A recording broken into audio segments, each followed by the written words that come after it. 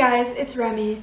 I recently started school for sonography and my experience with getting into school was very unusual, so I wanted to share it with you guys. Now, I don't want to give anyone the wrong idea. I don't want you to watch this and think that it's advice or what you should expect. Um, this was just my experience and I recognize that it is not typical. Three months ago, I didn't know that my school existed, and now I'm in finals week. So let me back up. I've known for a while now that I wanted a career change, but it took me a couple of years to figure out what that should be. The first time I became aware that diagnostic medical sonography was a career that people have was when I had to get an ultrasound done in February of 2020 so a little over a year before I applied. I can have a whole separate video going into all the details of my career path up till now, how I picked DMS, um, my previous bachelor's degree, which is in film production.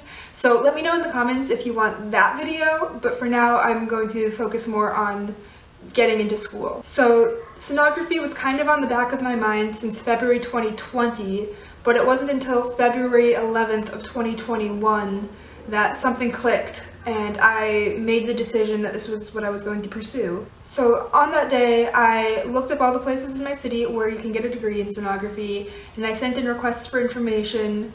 There were two of them, and I was more interested in um, the College of Healthcare Professions, which is where I ended up going. There was another one that I was also interested in as kind of a backup. So the next day, a recruiter contacted me from the College of Healthcare Professions, and she explained that the next start date would be March 15th, and she wasn't sure if it was full, but she thought it was probably full. Um, but we went ahead and set up a Zoom meeting for the following week, um, just so I could get all the information about the program. But then things got a little bit delayed because there was a snowstorm here in Texas, which knocked out the power for thousands of people, including myself.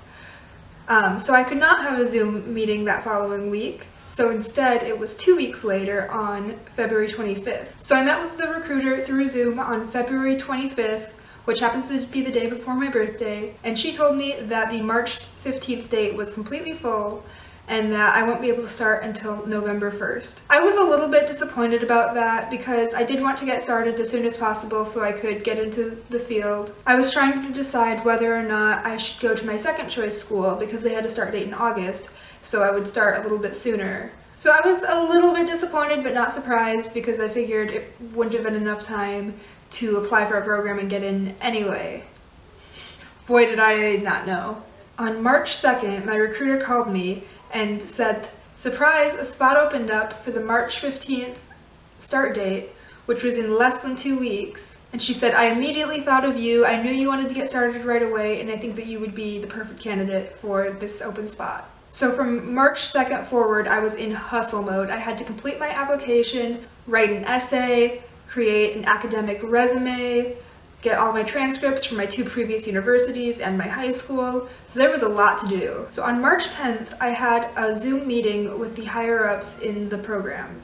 This was maybe a bit naive of me, but I didn't quite realize that this was like the big interview to get in in my head it was more of just like an informational meeting about the program so I was not prepared to be interviewed when I got into that Zoom call. But the thing is, I think because I wasn't prepared, I actually did a little bit better. I think that that actually helped me not be too nervous because I can get really anxious sometimes. I think I was a little bit better about, you know, interviewing off the cuff and not trying to be like overly rehearsed and overly fake or anything like that. So again, this is not a recommendation about how you should approach your application process. For me, it actually, it ended up working quite well to go in a little bit unprepared. So later that evening, on March 10th, I got the call from my recruiter that I had gotten in for the March 15th start date. She said that 20 people applied and they ended up letting in three people, even though there was only one open spot. So that, that really made me feel good to hear that they liked me enough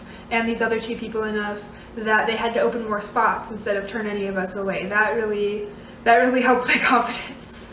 But I still, I, I kind of feel a little bit like an imposter because my other classmates have worked so hard for so long, I'm sure, done so much preparation to get into this program, and then just here I come flying by the seat of my pants makes me sort of feel a little bit like I don't belong. Um, so I'm not sure how long I'll still have that feeling. Hopefully after I'm further into the program I can feel a little more confident. But anyway, so like I said, I was accepted on March 10th and classes started on the 15th.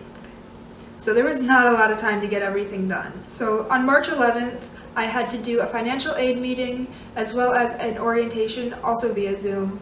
And then that whole weekend I was working and I was so stressed because class was starting on Monday and I did not feel prepared. But March 15th, I started my classes and it actually has gone really well. Most of my first semester classes are 8 weeks long. One of them is 16 weeks and so I'm in midterms for that class. But for three of them, I am currently in finals. And then next week I start two more 8-week uh, classes. I just can't believe how fast everything has happened and how I am already here about to finish the first three classes of my program. So far I'm getting all A's, hopefully that doesn't change, but we'll see. We'll see what happens. So I'm so excited to take you guys on this journey with me as I complete this program in the next two years and start my career. So I've actually had this channel for a long time. I started it in high school like 10 years ago and I set all those old videos to private to kind of start a clean slate. So let me know if you have a better idea for a channel name. Remy Set Go is something that I use for a lot of my different accounts across the internet and I'm trying to decide if I should go with something for this channel that's a little bit more specific to sonography, like Remy Sono or something else, I don't know. So let me know in the comments your suggestions for a channel name and I will see you all next time. Thanks.